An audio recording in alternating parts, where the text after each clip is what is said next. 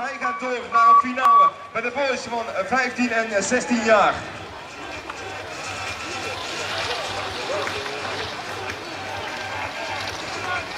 Race nummer 29, dames 14 jaar en ouder.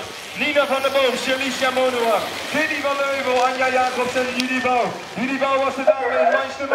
In match nummer 2 en op dit moment ook de leider in de derde en laatste kwalificatiematch. Positie nummer 1. De tweede plaats lijkt te gaan naar Amazoya, Anja Jacobs.